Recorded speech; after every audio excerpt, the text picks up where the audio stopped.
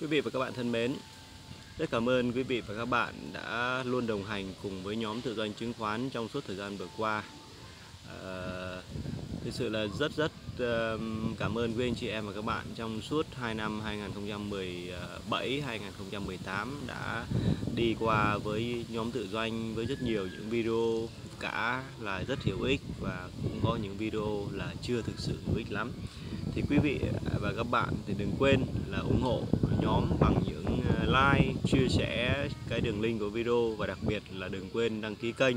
để có thể cập nhật và xem những video hữu ích à, mỗi ngày à, bằng việc là YouTube sẽ cập nhật vào địa chỉ của quý anh chị em và các bạn. Để để tiếp nối cái chương trình ngày hôm qua về cái việc là cách để xác định cái vùng đáy hoặc là cái vùng mua à, giải ngân dần dần hoặc là giải ngân tích lũy để có thể cho một cái chu kỳ đầu tư dài hạn uh, xa khoảng tầm từ 1 tới 3 năm hoặc là thậm chí còn lâu hơn. Thì chúng tôi đã dành ra một chút thời gian trong buổi uh, chiều ngày hôm qua để chia sẻ và trao đổi với quý anh chị em và các bạn uh, về việc là cách xác định uh, vùng đáy bằng việc sử dụng các cái chỉ số tài chính là P trên E À, của thị trường và P trên E của từng cổ phiếu riêng lẻ và dùng cái chỉ số nghịch đảo của P trên E để so sánh với lãi suất à, tiền gửi à, ngắn hạn, trung hạn và dài hạn theo tính theo thời gian cho tại thời điểm hiện tại. Để chúng ta có thể phần nào biết được là thị trường đã và đang dịch chuyển ở cái khu vực hiện tại là đắt hay là rẻ và thông thường thì những thứ mà chúng tôi trao đổi và chia sẻ với quý anh chị em và các bạn thì nó sẽ gói gọn trong một số những vấn đề cực kỳ cơ bản mà anh chị em và các bạn à, nếu còn chưa hiểu về các cái chỉ số này thì uh, vui lòng là tìm hiểu thêm để tiếp tục cập nhật những video tiếp theo. Thì cái buổi chia sẻ hôm nay thì chúng tôi sẽ trả lời uh, vừa là trả lời cũng vừa là làm rõ một câu hỏi của một quý độc giả. Uh, câu hỏi là Ờ, EPS ờ, giảm chậm dần ừ, là như thế nào? Thì thưa với anh chị em và các bạn đây là một câu hỏi ờ, rất là hay. Và chúng ta sẽ làm rõ cái EPS lợi nhuận trên một cổ phần của một doanh nghiệp nó giảm chậm dần đều như thế nào? Thực sự mà nói thì có thể nhiều người khi mà tự, uh, tự doanh nói rằng là không thiếu những ông chủ uh, bất minh hoặc là cố tình hoặc là vô ý bỏ quên cái chỉ số này uh, trong cái việc là phát hành cổ phiếu uh, riêng lẻ hay là phát hành trái phiếu có quyền chuyển đổi hay là phát hành chia tách cổ phiếu hoặc là uh, phát hành chia thưởng đã không hay thực sự là không quan tâm đúng mức tới cái lợi nhuận trên một cổ phần. Thì cái điều đầu tiên làm cho cái này giảm đi nhanh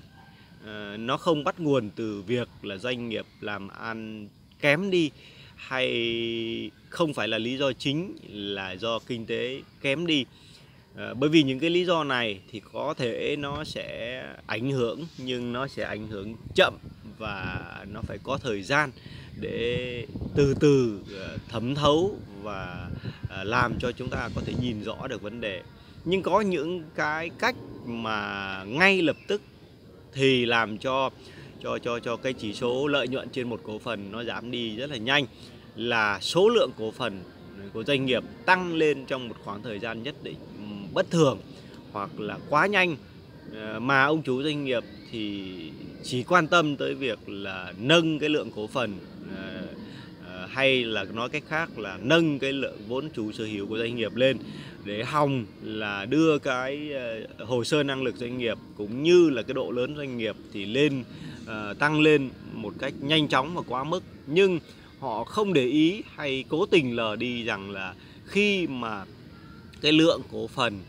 cái lượng vốn chủ sở hữu tăng lên thì cũng đồng nghĩa với cái việc áp lực của câu chuyện tăng trưởng doanh nghiệp cả về doanh thu cả về lợi nhuận phải cao lên và tương xứng.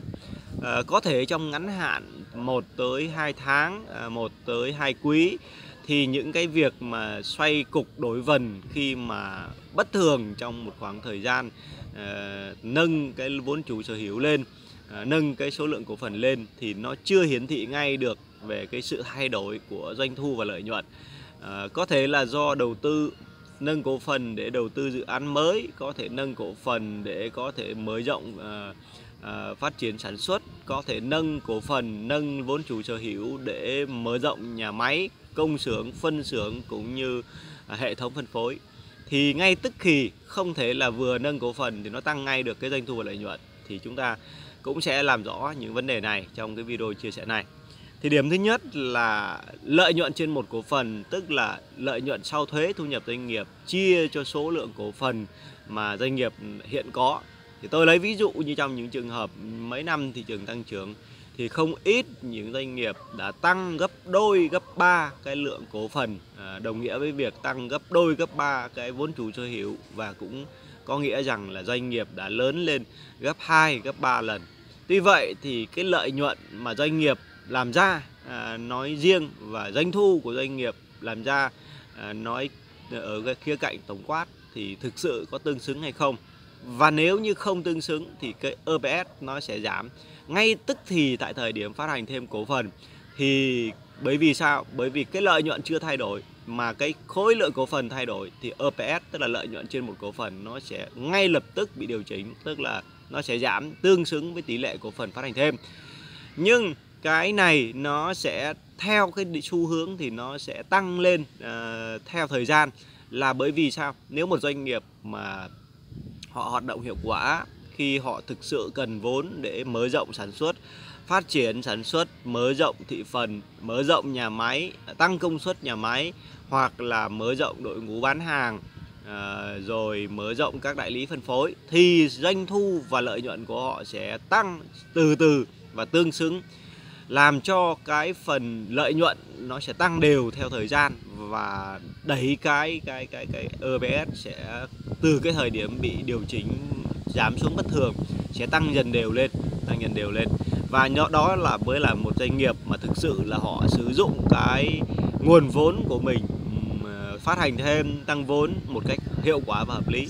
Còn lại thì nếu không mà không thực sự quan tâm đúng mức tới cái vấn đề này thì rõ ràng là uh, những thời gian sắp tới gọi là tiếp theo sau khi mà phát hành tăng vốn cổ phần sau khi mà tăng cái độ lớn doanh nghiệp lên thì uh, nó không chỉ là không tăng mà đôi khi nó còn giảm cái lợi nhuận trên một cổ phần. Thì chúng ta cũng phải để ý kỹ cái vấn đề này để xem cái hiệu quả của việc tăng vốn có thực sự là giống như các ông chủ cam kết và nói với chúng ta hay không. Và điểm thứ ba nữa là mặc dù có những doanh nghiệp họ vẫn tăng về cái lợi nhuận trên vốn cổ phần à, tỷ lệ tăng có thể là chậm nhưng mà phải tăng dần đều và Ờ, tiến tiệm cận lại ờ, tương xứng với cái tỷ lệ cổ phần mà họ đã phát hành trước đó. Tỷ lệ cổ phần họ đã phát hành trước đó để nâng vốn chủ sở hữu. Thì đó mới thực sự là một, là là là là là hoạt động kinh doanh và hoạch định kinh doanh nó đúng, hợp lý và nó hiệu quả còn nếu như mà cái vấn đề đó nó không thực sự hiệu quả thì cái EPS cái lợi nhuận trên một cổ phần nó sẽ thay đổi rất bất thường và chúng ta cũng sẽ, đó là một tín hiệu để quý anh chị em và các bạn có thể dễ dàng nhận ra được là cái doanh nghiệp ờ, cái đơn vị mà quý anh chị em và các bạn đang quan tâm nó có vấn đề về cái câu chuyện là là là phát hành cổ phần và tăng vốn không hiệu quả. Cái điểm thứ hai nữa là cái đặc điểm ngành nghề của cái ngành, của doanh nghiệp đó nó gặp vấn đề, nó đến một cái điểm toàn dụng, tức là nó đến bảo hòa, hoặc là nó gặp một cái đối thủ cạnh tranh nào đó, nó dẫn đến câu chuyện là hiệu suất sinh lợi trên doanh thu và trên vốn chủ sở hữu của doanh nghiệp nó bị à, ảnh hưởng.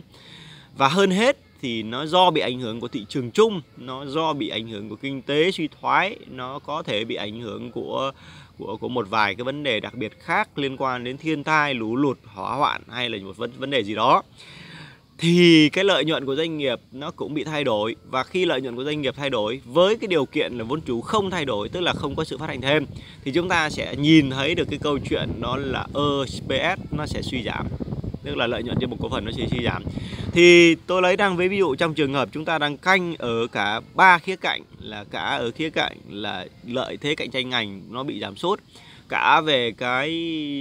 kinh tế nó suy thoái và cả về vấn đề khác nữa tức là những vấn đề gọi là đặc biệt mà tùy theo đặc điểm của từng doanh nghiệp. À, chu kỳ ngành thì nó có thể bị ảnh hưởng thì nó sẽ làm cho OBS giảm. Thì giảm dần đều giảm chậm dần đều tức là khi mà cái áp lực của cạnh tranh, áp lực của suy thoái kinh tế, áp lực của những các cái vấn đề đặc điểm ngành, nó làm cho lợi nhuận trên một cổ phần của cái doanh nghiệp đó suy giảm nhưng nó giảm tới một cái mức độ nào đó thì cái áp lực ờ, này nó cũng không còn nữa và nó bắt đầu có dấu hiệu chậm dần cái đà suy giảm. Tôi lấy ví dụ như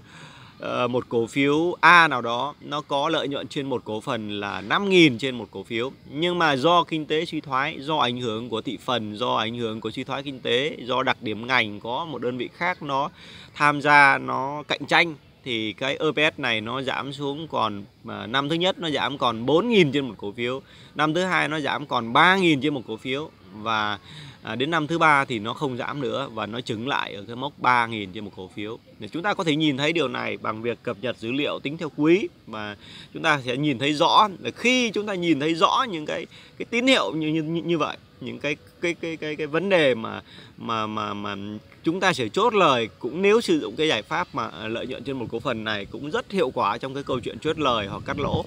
hoặc là mua gom. Là bởi vì khi mà chúng ta đang thấy là lợi nhuận trên một cổ phần trước đó thì đang từ ờ, 3.000 một cổ trên một cổ phần tăng lên 3.000 rưỡi trên một cổ phần tăng lên 4.000 trên một cổ phần rồi tăng lên 5.000 6.000 7.000 thì nó đang tăng rất đều đặn theo cái tỷ lệ tăng trên vốn trên uh, lợi nhuận trên một cổ phần. À, uh, 20% một năm chẳng hạn. Hoặc là tính theo quý thì nó cũng có cái sự tương đồng là khá là ok ổn. Quý quý quý hiện tại so với quý cùng kỳ nó cũng tăng. EPS nó cũng tăng. Là lợi nhuận trên một cổ phần cũng tăng. Thì chúng ta thấy là doanh nghiệp này đang khá là ổn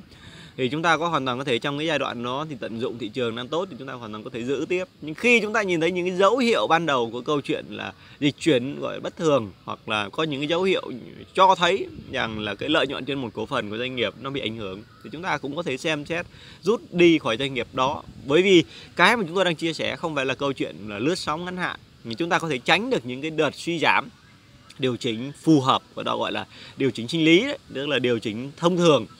Ờ, mà chúng ta bán mất cổ phiếu thì chúng ta không sử dụng cái việc tăng giảm ngắn hạn của giá để chúng ta ờ, mua và bán hay cắt lỗ chốt lời. Mà chúng ta sử dụng cái giải pháp dài hạn là phải đánh giá trên cái doanh nghiệp đó tức là đánh giá trên cái cái, cái sự suy giảm của doanh nghiệp. Thấy rằng là doanh nghiệp chúng ta mua cho 10 năm nhưng chúng ta đang thấy những cái dấu hiệu của chuyện lợi nhuận trên một cổ phần bị ảnh hưởng và chúng ta tìm nguyên nhân là nó ảnh hưởng do phát hành thêm tăng vốn hay nó ảnh hưởng do cái đặc điểm ngành hay nó do vấn đề gì thì chúng ta cũng có thể đưa ra được một vài cái cái cái cái cái, gọi là cái cái suy đoán về cái tình hình của doanh nghiệp sắp tới nó sẽ gặp vấn đề như thế nào. Thì đó là một một một một cái cái vấn đề tiếp theo mà chúng tôi cũng thể chia sẻ với anh chị em và các bạn như vậy. Cái nữa là chúng ta sẽ thấy rằng là cái giá của cổ phiếu nó biến động rất là bất thường và chúng ta rất dễ sẽ bị bị cuốn theo cái sự biến động ngắn hạn của cổ phiếu. Ví dụ như đôi khi là à, ngày hôm nay giá đang là 30.000 ngày mai hoàn toàn nó có thể là 32.000 hoặc là thậm chí là nếu với một số thị trường tiên tiến thì họ không có cái giới hạn về cái cái tỷ lệ tăng giảm trong một ngày thì nó có thể tăng giảm tới 9 10% giống như là là là là thị trường chứng khoán Mỹ thì phiên qua thì giảm 600 điểm, thì phiên tối ờ, hôm qua, tức là phiên hôm trước thứ năm, tối thứ năm thì thì giảm mấy trăm điểm thì tối hôm thứ sáu nó lại tăng lại. Thì cái câu chuyện biến động giá như vậy sẽ làm cho chúng ta sẽ bị cuốn theo những cái cái cái cái sự tăng tăng, giảm giảm của giá. Và nó dẫn đến cái price tức là cái giá để chúng ta chia cái tỷ lệ P/E nó sẽ bị ảnh hưởng. Vì vậy chúng ta um, tốt nhất là chúng ta nên nên nên đánh giá lại theo tính theo định kỳ hàng tháng hoặc là định kỳ hàng quý chứ chúng ta cũng không không không không không không quá cần phải quá là đánh giá thường xuyên quá mức. Ví dụ như là Ờ, lâu lâu chúng ta lại đánh giá đánh giá liên tục liên tục liên tục. Nó sẽ dẫn đến những cái vấn đề mà mà chúng ta sẽ bị sai lệch hoặc là chúng ta sẽ bị ảnh hưởng bị cuốn theo cái tâm lý lên tăng giảm của thị trường. Thì từ đó thì chúng ta dùng cái giải pháp mà chúng tôi nói tức là chúng ta uh, dùng cái P E của uh, tức là dùng cái cái giá trung bình cũng được. Chúng ta có thể dùng cái giá trung bình của cái cổ phiếu đó trong một cái khoảng thời đoạn. Chúng ta quan sát ví dụ như một tháng thì price tức là cái giá của cổ phiếu trong trung bình của một tháng nó khoảng bao nhiêu chúng ta lấy cái giá đó chúng ta chia cho cái EPS thì nó sẽ ra cái P trên E. Sau đấy chúng ta nghịch đảo cái P trên E thì nó sẽ ra cái xuất sinh lợi ờ, mà gọi là kỳ vọng của cổ phiếu đó tại thời điểm hiện tại. À, thì rồi sau đó chúng ta so sánh với lãi suất ngân hàng thì cách đó là cách rất là hiệu, gọi là hữu hiệu cho câu chuyện chúng ta đánh giá. Và chúng ta cung cấp thêm cho anh chị em và các bạn một cái ý nữa đó là à, tại thời điểm tháng 4 năm 2018 thì P trên E của thị trường chứng khoán Việt Nam nằm ở cái mốc ờ, là 20.6 20.6 tức là chúng ta có thể đánh giá từ đó, chúng ta sẽ thấy rằng là lấy cái cái cái đợt suy giảm của thị trường từ mùng 10 tháng 4 nên là khoảng tầm 1.200 mà hiện tại là còn bao nhiêu đó thì thị trường suy giảm thì chúng ta cũng sẽ có thể điều chỉnh được cái P trên E. Theo cái giả định là chúng ta ừ, điều chỉnh theo thị trường, đó là cái giá giảm thì P trên E nó cũng giảm xuống cái E là của thị trường thì tạm thời thì trong cái cái cái cái hai quý đầu năm thì nó không có nhiều sự thay đổi. Thì chúng ta có thể điều chỉnh là ví dụ như thị trường giảm 30% thì chúng ta lấy 20 chấm chấm chấm 6 cho là 21 đi. Chúng ta nhân với 30 thì nó giảm khoảng 6 6 thì chúng ta sẽ còn đâu đó là là là là 15 gì đấy. Chúng ta nhân như như vậy thì chúng ta sẽ thấy ví dụ như thị trường giảm 25% thì chúng ta sẽ điều chỉnh theo cái hướng đó là nó phù hợp nhất. Thì chúng ta sẽ thấy là P trên E thị trường nó đã về đến cái vùng hấp dẫn chưa? Thì thưa với anh chị em và các bạn là ví dụ như chúng ta lấy thị trường giảm 30% nhân với 2 là thành 6 lấy 20.6 trừ đi 6 thì còn là 14.6 14.6 là 15 gì đấy P trên E thị trường là khoảng 15 thì chúng tôi cho là 15 thì lấy 15 thì chúng ta lấy 1 chia cho 15 thì nó, cái độ hấp dẫn là bao nhiêu, là bao nhiêu phần trăm đấy. 1 trên chia 15 thì chúng ta có thể dùng phép toán để chia luôn. Thì hôm qua chúng tôi vừa chia thì chia như vậy thì chúng ta so với cái lãi suất hiện ờ, gọi là trung bình hiện hành của thị, của của của của các ngân hàng, thì nó nằm ở khoảng đâu đó 6.5 gì đấy, thì chúng ta sẽ có cái góc nhìn và cái so sánh à, phù hợp. Ví dụ như là một chia cho 15 đi thì nó khoảng tầm 6,6 6 vì trung bình là lãi suất ngân hàng hiện tại đang là khoảng tầm 6.5 thì nó gọi là cái cái cái sự hấp dẫn của thị trường so với lãi suất ngân hàng. Mặc dù là suất lãi suất ngân hàng thì không có rủi ro mà thị trường chứng khoán thì rất nhiều rủi ro thì chúng ta cũng phải cũng phải quan tâm đến vấn đề đó. Thì chúng ta thấy rằng là cái độ hấp dẫn của thị trường thì chỉ mới là là là, là gần gần xem xem với lãi suất ngân hàng thôi. Thì chúng ta cũng biết được thêm cái ý như thế thì một lần nữa là cũng xin được anh chị em và các bạn luôn luôn đồng hành và ủng hộ. Và nhớ là xem video mà chưa đăng ký kênh thì đừng quên đăng ký kênh để có thể cập nhật những video mới mỗi ngày. Xin chào và hẹn gặp lại quý anh chị em và các bạn.